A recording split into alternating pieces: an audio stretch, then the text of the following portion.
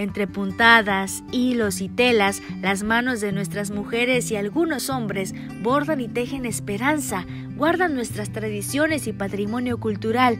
Es una práctica heredada de generación en generación. La etnia yaqui es reconocida por sus hermosos y coloridos bordados. Darle esa importancia, darle ese valor.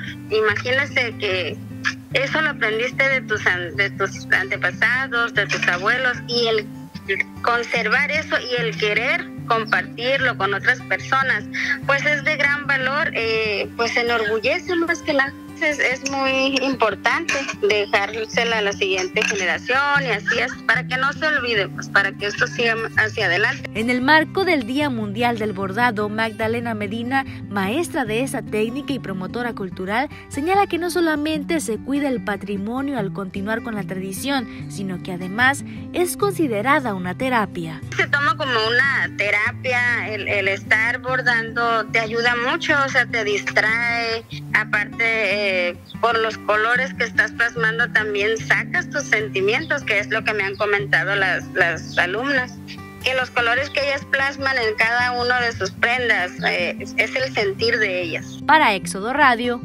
Columba Chávez.